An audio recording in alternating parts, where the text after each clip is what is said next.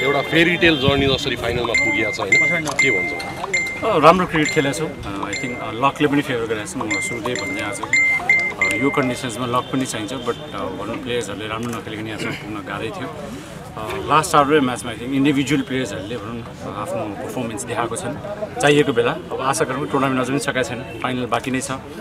जुन मोमेन्टम भनौँ न यो म्याचेसहरूमा हामीले देखाएको छौँ यो मोमेन्टमलाई चाहिँ we need to keep pushing ourselves अब इम्प्रुभ गर्ने मेबी अझ एरियाजहरू छन् तर पनि त अब Biratnagar is team so should be a good contest फाइनलमा चाहिँ आज जसरी खेलियो अनि त्यसपछि प्रिभियस टु गेम्स तिमीहरूकै भनौँ न होइन? त्यो हेर्दाखेरि चाहिँ अलिकति टुर्नामेन्टको स्टार्टमा चाहिँ अलिकति पिचलाई लिएर अलिकति बढी नेगेटिभिटी सराउनु भएको।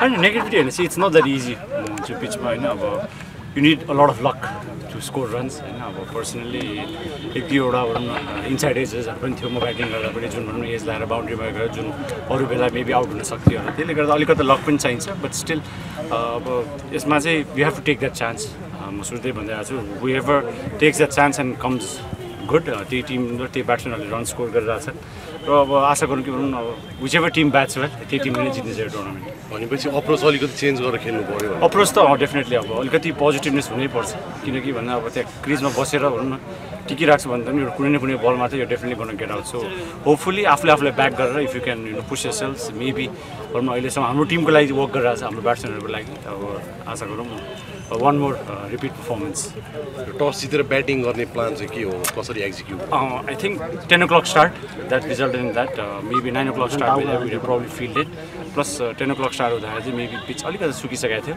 र पनि त अब रूपन्देहीको आई थिङ्क फ्रेन्ड हेऱ्यो दे लाइक टु भनौँ डिफेन्ड द स्कोर चाहिँ त्यसले गर्दा पनि हामीले थाहा थियो कि first हाफमा if we are able to put a very good score त्यसले चाहिँ will put them on lot of pressure so बलर्सहरूले फेरि पनि राम्रो बलिङ गरे। To get them all out eighty one was a very decent performance आज आफ्नो इनिङ्सको बारेमा के हो? जस्ट ब्याक माइ म फेरि फेरि पनि त्यही भन्दैछु अब बल्सहरू थियो जुन बल्सहरू थियो लुज बल्सहरू त्यसलाई भनौँ न बााउन्ड्रीमा बलिङ गर्न सफल भएँ र आशा गरौँ कि अब one more game to go still tournament is not over एउटा गेम बाँकी छ इम्पोर्टेन्ट गेम फाइनल होपफुली फाइनल्समा अब आजको जस्तो पर्फर्मेन्स रिपिट गरेर एज अ टिम ट्रफी जित्न सफल फाइनलमा चाहिँ के छ अपेक्षा should be a good contest I think both teams उत्तिकै राम्रो छन् दुइटै टिममा राम्रो प्लेयर्सहरू छन् it all comes down to pressure handling plus I think taking those chances भनौँ त्यो सानो सानो चान्सेसहरू यदि भनौँ जुन टिमले लिन्छ त्यही टिमले नै जित्नेछ हाम्रो लागि हाम्रो प्लान्सहरू वर्क गराएको छ last four म्याचेसमा so I hope it continues Nepal टिमकै सफल कप्तान र एउटा डोमेस्टिक क्रिकेटको चाहिँ सफल कप्तान शरद भेषाको चाहिँ भिडियो त छ। त्यो कतिको प्रेसर जस्तो हुन्छ अथवा कस्तो अब pressure? यहाँ हाम्रो मेन उद्देश्य भनेको एज ए टिम भनौँ राम्रो गर्ने हो। भनौँ न Sharad has led very well विराटनगरलाई योभन्दा पहिलाको रेसरमा नि as a captain I think is manage lead the team very well for me it's about you know अब जुन टिमबाट खेल्छु हाम्रो टिमले राम्रो पर्फर्मेन्स गरेर भनौँ राम्रोसँग लिड गर्न कोसिस गर्ने हो। सो नेपाल क्रिकेटले हेर्ने really doesn't matter who wins but as a player playing from a certain team भनौँ न हामी चाहन्छौँ भनौँ यो टिमलाई जिताउँ भनेर। त्यसले गर्दा अब should be a good contest दुइटै टिममा राम्रो प्लेयर्सहरू छन् अघि मैले भने जस्तै। अब आशा गरौँ कि भनौँ न त्यो प्लेयर्सहरूले चाहिँ आफ्नो पोटेन्सियल अनुसार खेलेर अ, दर्शकहरूलाई इन्टरटेन गर्न सक्छ। आई थिङ्क स्पोर्ट्स इन्टरटेनमेन्ट हो क्रिकेट एकदमै पपुलर भइरहेछ नेपालमा।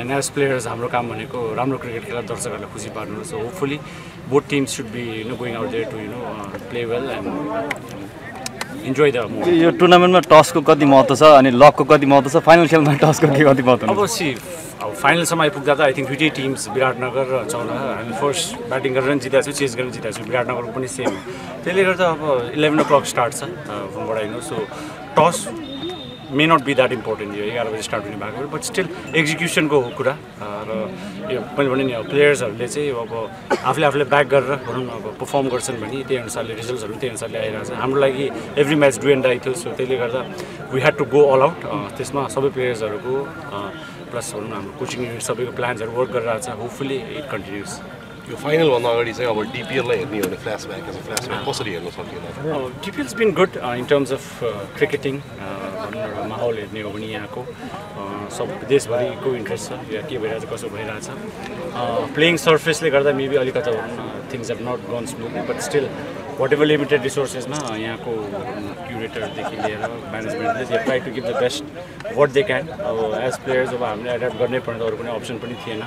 र आगामी दिनमा लेट्स होप अब बेटर सर्फेसेसहरू क्रिएट गर्ने हो भन्ने मलाई लाग्छ।